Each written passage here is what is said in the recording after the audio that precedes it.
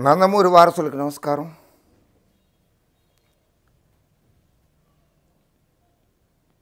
మీ బావగారు ఎంత దుర్మార్గపు రాజకీయాలు చేసి రాక్షసానందం పొందాడో రెండు విషయాలు చెప్తాను. మీకు తెలిసి ఉండకపోవచ్చు అవి.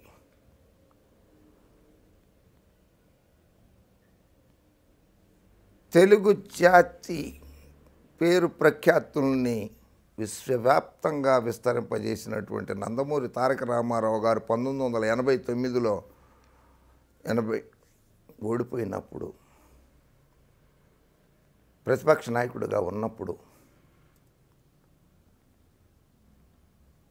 కొంతమంది మహిళా శాసనసభ్యులు ఉమ్మడి ఆంధ్రప్రదేశ్ రాష్ట్ర శాసనసభలో రాష్ట్ర శాసనసభలో నాదెండ్ల భాస్కర్రావు గారి టైంలో ఒకసారి కాంగ్రెస్ హయాంలో మరొకసారి నందమూరి తారక రామారావు గారు ప్రతిపక్ష నాయకుడిగా వ్యవహరించినప్పుడు గాజులు తీసుకొచ్చి ఆయన ముందు పెట్టారు. ఒక మహిళా శాసనసభ్యురాలు చీర పసుపు కుంకుమ తీసుకొచ్చి పెట్టింది. అటువంటి మహిళా శాసనసభ్యులకి మీ బావగారు చంద్రబాబు నాయుడు గారు మంత్రి పదవులు కట్టబెట్టాడు కార్పొరేషన్ చైర్మన్ పదవులు కట్టబెట్టాడు. మీ నాన్నగారికి అవమానం చేసినటువంటి శాసనసభ్యులకి మీ బావగారు పదవులు కట్టబెట్టాడు. అలాగే భారతదేశంలో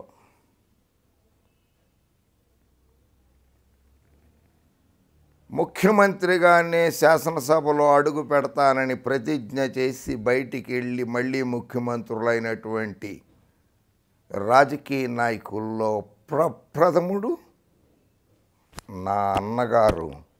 విశ్వవిఖ్యాత నడసారు ఓమ డాక్టర్ నందమూరి తారక రామారావు గారు అసెంబ్లీలో శాసనసభలోనే ఆయన శపథం చేశారు. మళ్ళీ ముఖ్యమంత్రిగా అడుగు పెడతానని అలాగే ముఖ్యమంత్రిగా అడుగు పెట్టారు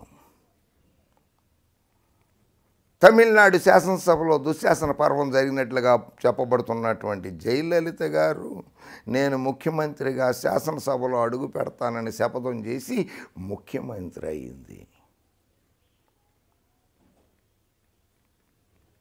వెస్ట్ బెంగాల్ ముఖ్యమంత్రిగా ఉన్న మమతా దీదీ కూడా నేను ముఖ్యమంత్రిగా అయ్యే శాసనసభకి వస్తాను అని చెప్పి ముఖ్యమంత్రిగా శాసనసభలో అడుగుపెట్టింది మమతా బెనర్జీ. అవకాశం నీకు లేదు బాబు. నీ శపథం నీ మాటలే నీటి మీద మూటలో. నీ శపథం కూడా నీటి మీద మూట. రాసి పెట్టుకో. నీటి మీద రాసి పెట్టేసుకు నువ్వే.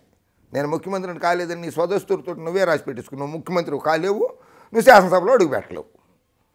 అది గ్యారంటీ. పెట్టేసుకో.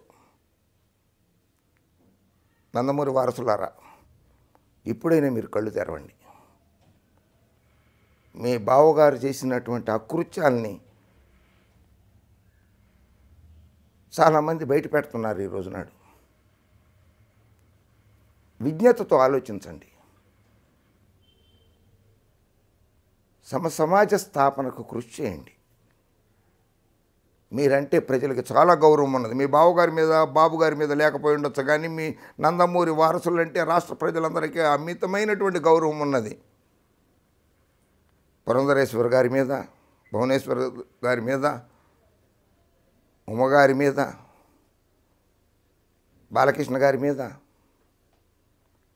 మోహనకృష్ణ గారి మీద సాయికృష్ణ గారి మీద జయశంకర కృష్ణ మీద జయకృష్ణ గారి మీద అందరి మీద అభిమానం.